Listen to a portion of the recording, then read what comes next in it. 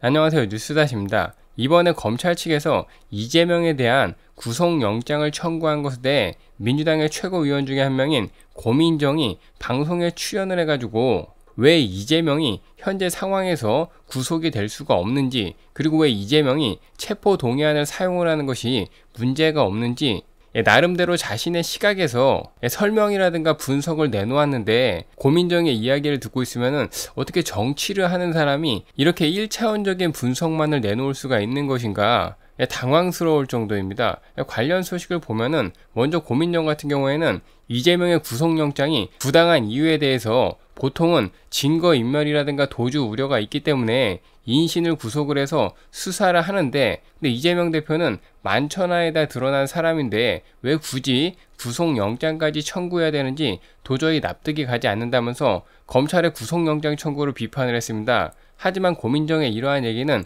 첫 문장부터 개소리인 것이 고민정의 주장대로라면은 유명한 사람들은 전부 다 구속영장을 청구하면 안 되겠죠. 아니 그렇잖아. 만천하에 드러나 있는 사람이기 때문에 도주할 우려가 없다. 이런 사람들이 무슨 증거인멸을 하겠느냐가 고민정의 주장인데 예, 그렇다면 왜 박근혜 전 대통령이라든가 이재용 부회장이라든가 기타 뭐 재벌이나 연예인 등등 이재명 같은 사람들은 비비지도 못할 정도로 유명하고 영향력 있는 사람들도 예, 죄를 지었거나 또는 그가 받고 있는 혐의가 타당하다라고 생각이 되면은 법원에서 구속영장을 발부해서 왜 그들을 구속을 했겠는가 이 부분에 대해서만 생각을 해보아도 저런 말 같지도 않은 소리는 내놓기가 힘들 텐데 저런 얘기를 방송에 나와가지고 당당하게 이야기하고 있는 고민정의 해당 발언은 본인이 본인 스스로 바보라고 인증을 하고 있는 것이 아닌가 뭐 이런 생각이 듭니다. 그리고 이뿐만이 아니라 고민정 같은 경우에는 충분히 압수수색을 했기 때문에 구속이 될 이유가 없다라고 설명을 했는데 300번의 압수수색이 있었고 3번의 검찰 조사에도 다 응했으며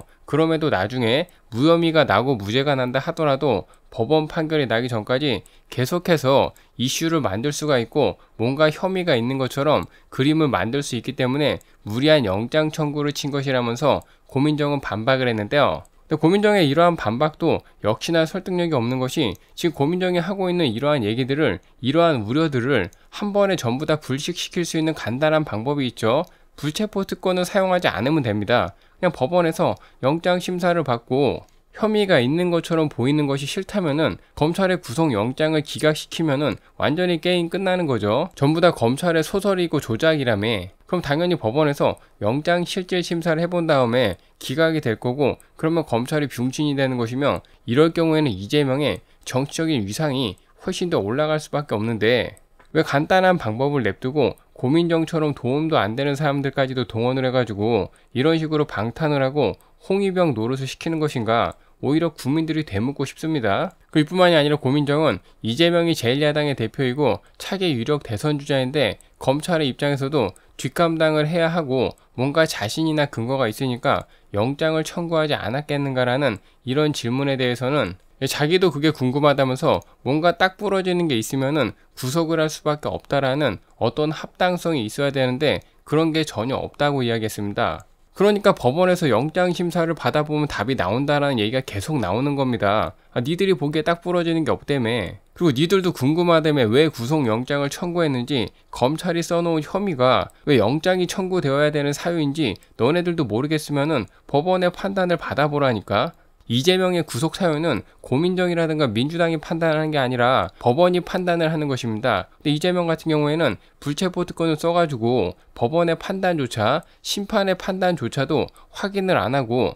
자기들만의 세상에서 구속될 이유가 없다라고 외치니까 이게 특권이라고 비판이 나오는 것이고 체포 동의안을 가결시킨다라고 해가지고 바로 구속이 되는 게 아니라 법원에서 판단만 받아보겠다라는 것인데 이거조차도 거부하니까 이재명이 국회로 도망가가지고 치외법권을 사용하고 있다라는 이런 비아냥이 쏟아지는 거죠. 그리고 고민정의 발언 중에서 하이라이트는 바로 이 부분인데 이재명의 불체포 특권 관련해서 사회자가 강원랜드 취업 청탁 관련 권성동 의원처럼 국회에서 체포 동의안 표결을 안 하고 자신이 있으면은 법원에 가서 영장 심사를 받겠다라고 하는 이런 옵션을 사용할 수 없는가라고 물어보니 고민정은 만약에 야당 대표가 아니고 일반 의원이었다면 모르겠지만 이재명이라는 개인에 대한 문제로만 판단할 수가 없고 우리 당의 대표라면서 이재명이 불체포 특권을 사용을 하는 것은 개인에 대한 특혜라든가 특권 차원이 아니라 제1야당 대표라는 직위라든가 상황을 감안해야 된다라고 주장을 했으며 윤 대통령과 비교하면서 이거는 마치 대통령에 대해서 불소추 특권이 있지 않는가라면서 고민정과 윤 대통령을 비교했는데요. 근데 이게 진짜로 멍청한 소리인 것이고 민주당 애들이 제정신이 아니라는 것을 확실하게 알 수가 있는 대목인데 우선은 국회의원의 불체포 특권은 말 그대로 특권이 맞습니다. 일반 국민들은 누리지 못하는 것을 국회의원들이 누리고 있는 것이니 당연히 특권인 것이고 또 고민정의 해당 발언을 보면은 기본적으로 대선 불복이 아예 깔려 있다라고 생각이 되는데 이재명하고 대통령을 사실상 동일선상에 놓고 비교를 하고 있는 것이고 예, 불소추 특권은 말 그대로 대통령에게만 주는 특권인데 이걸 이재명의 불체포 특권에 비교하는 것, 국회의원 300명이 다 갖고 있는 것에 비교하는 것 자체가 비교 자체가 안 되는 헛소리이며 당대표 같은 경우에는 특정 진영의 대표이지만 대통령 같은 경우에는 말 그대로 국민들의 대표인 것인데 전 국민들의 대표하고 특정 진영의 대표를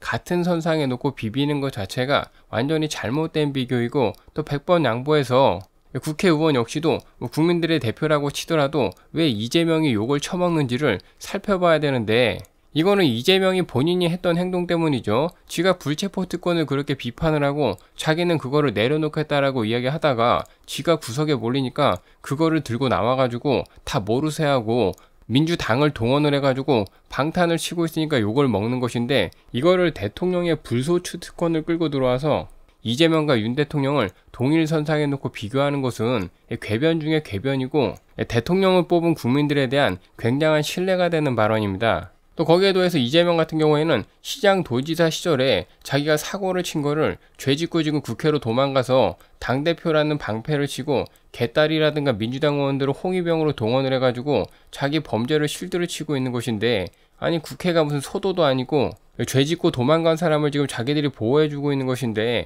고민정은 이런 행동을 하면은 좀 부끄러워해야 되는 것이 아닌가 싶은데요. 아무튼 뭐 고민정 같은 경우에는 이재명이 불체포 특권을 내려놓는 것은 가능하지 않은 것이라면서 개인에 대한 판단이 아니라 직위와 상황에 대한 문제이기 때문에 민주당으로서는 야당 대표를 그냥 내줄 수가 없는 상황이라고 이야기했고 국민 모두가 봤을 때 이거는 뭔가가 확실한 정도의 납득이 가는 상황에서 영장 청구가 되었으면 모르겠는데 새로운 게 전혀 없는 상황에서 이런 일이 벌어졌기 때문에 윤석열 정권과 검찰의 야당 탄압의 일환으로밖에는 보이지 않는다라고 주장을 했습니다. 뭐 고민정이 하고 있는 얘기는 같은 얘기의 반복인데 그냥 법원에서 영장 심사를 받으면 다 끝나는 얘기인 것이고 지금 이 난리가 나고 있는 것은 이재명이 정면 돌파를 하지를 못하기 때문에 이런 비판이 쏟아지고 있는 것이며 또 고민정이 이런 식으로 실드를 치고 있는 것도 솔직히 까놓고 얘기해서 고민정이라든가 민주당도 이재명을 믿지 못하기 때문에 실드를 치고 있는 것이라고 생각이 되며